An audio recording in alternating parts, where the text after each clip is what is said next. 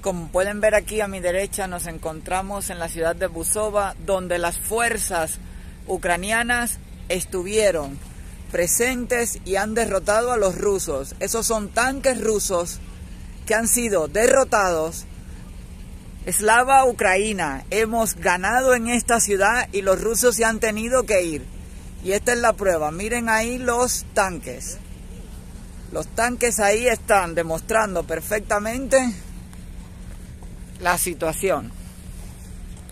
Voy a acercarme un poco para que lo vean. Esto es lo que hacen los tanques rusos.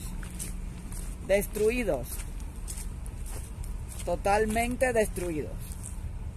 Como podéis ver.